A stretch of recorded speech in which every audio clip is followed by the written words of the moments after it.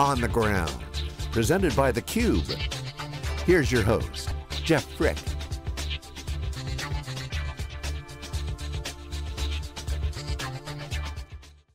Hi, Jeff Frick here with theCUBE. We're on the ground in downtown San Francisco at the Blockchain Conference, San Francisco at the NASDAQ Entrepreneurial Center, and we're really excited for our next guest, Joyce Shen, Director of Emerging Technology and Partnerships and Investments for Thomson Reuters. Welcome. It's good to be here. Thanks, ah. Jeff. So you led a panel with all the biggest names in the room. You had uh, Intel up there, IBM, Microsoft, uh, unfortunately wasn't able to make it, travel, weather, whatever. So pretty interesting. Those are big names at a very little conference. I think IBM is actually one of the sponsors. What does that signal to you as you keep an eye on emerging technology? I think it just signals that the larger companies learned uh, that they have to keep pace with the external emerging tech innovation and that they could play a key role in building out the technology infrastructure that is still fairly nascent today, especially in blockchain.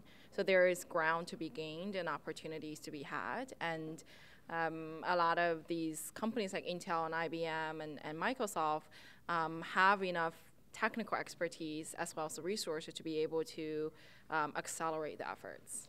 It looks like in kind of a typical Intel fashion too, that they're, you know, kind of jumping into the depths of the infrastructure. And, and I think John from IBM talked about, you know, there's the application, there's the platform, and then there's the fabric and really trying to get into open sourcing the fabric to really enable the technology to grow much faster.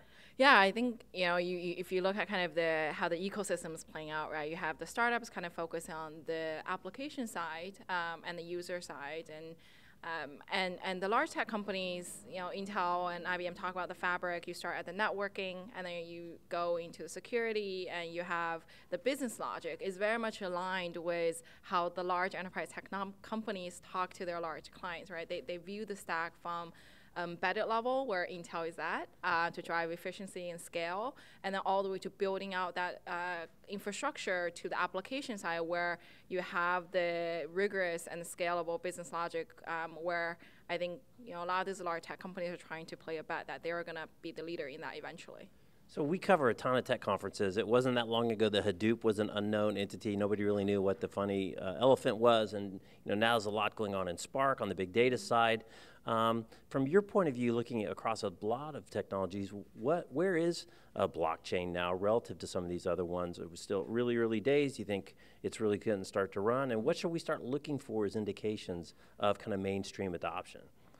It's very early. Um, I think, um, but the difference this time is, you know, if you think about kind of cloud, right? Cloud uh, or big data, um, you, you started with kind of the technology companies um, leading the chart to articulate what is the technology value, what's the business value, um, educating the financial services firms or the other industries, the business adopters. This time is different. The business adopters, the financial services firms, the governments, the uh, insurance companies, or now the advertising, they're all looking at it themselves. Um, so um, technology-wise, it's still very nascent. I think once you uh, see, in my mind, uh, more of a um, for example, like R3 or other concern where they actually articulate what is one use case that has been scaled, right, across multiple um, stakeholders um, and be able to articulate use case and how it's going to make money or provide much better service that can be uh, adopted um, either by their business clients or, or end users. I think that's where you're going to see uh, see that. I think the other signal is, for example, the Linux Foundation, the Hyperledger. Um, I mean, you, you, mentioned Hadoop, right? You see, um, you know, Hadoop, you see Spark. It's kind of um, following the same pattern. So once you see kind of that accelerated uh, adoption curve where the developers are really getting onto, for example, like uh, Hyperledger, um, then you will see more contribution, more commits, and, and build more scalable um, applications on top of it. Right now, it's kind of everybody trying to kind of race to the top, right? right.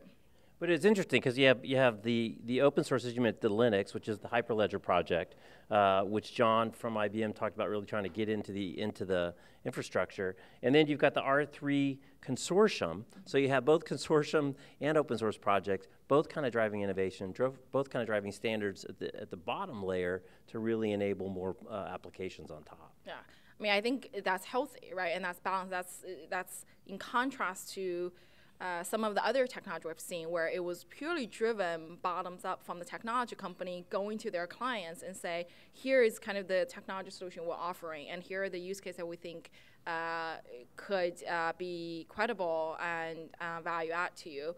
This is kind of both bottoms up and top down in some ways, right? Where you know horizontal, you kind of think from the industry push, where R3 is a closed uh, consortium with 40 plus banks.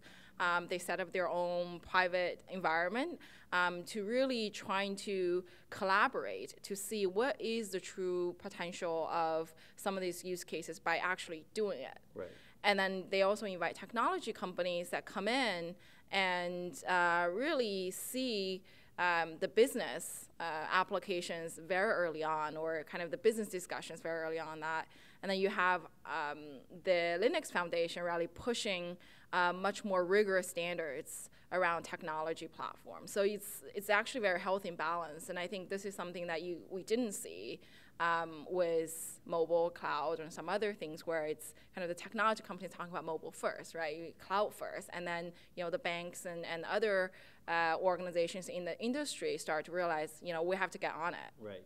And, and even the finance companies really trying to disintermediate their own inefficiencies by starting to take a deeper dive at blockchain and whether they should implement it or not for some of these particular types of transactions or applications that might be a better solution.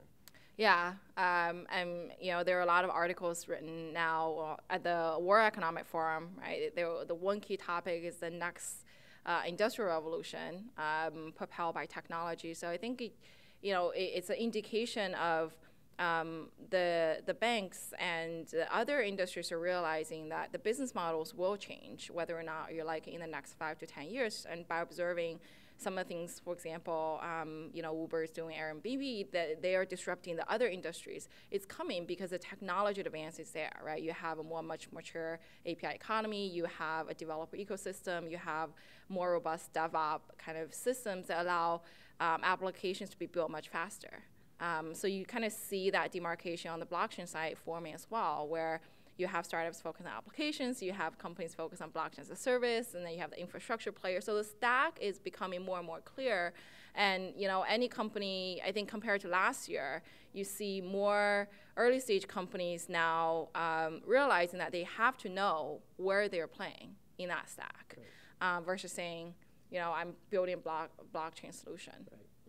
And and what's the role of Bitcoin? Does, was was Bitcoin a necessary uh, application to get this whole thing underway? Does Bitcoin begin to fade in the distance, or does Bitcoin just become one of many applications that are leveraging the underlying blockchain technology? I think uh, one of the panels uh, kind of comment. I think Bitcoin Bitcoin is an application on top of the Bitcoin blockchain. Um, so it's a manifestation of one application could be built on top of blockchain, right? Bitcoin is a kind of a transfer of asset, transfer of value. Um, you can extend that uh, to other applications. So it is important um, in the sense that it helps really to allow people to see the potential power and the potential blockchain.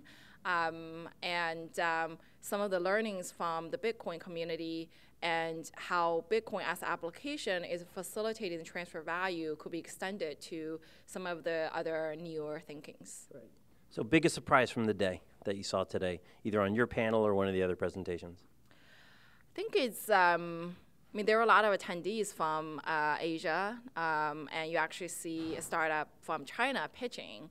Um, I think it's uh, kind of continued interest now, not necessarily just in the U.S. or in London, where you see the financial centers um, and activities are, but um, the idea of how blockchain could be uh, an interesting, relevant technology uh, for different industries, for governments to solve problems, now extending beyond uh, some of the first markets that are picking this up, right? Again, US and Europe now extending to um, you know, Singapore, into China, and, and other areas. Awesome. So, last question: What other kind of cool emerging things are you keeping an eye on? Because uh, you sit in a, in a, great seat, you got to keep an eye on all kinds of things.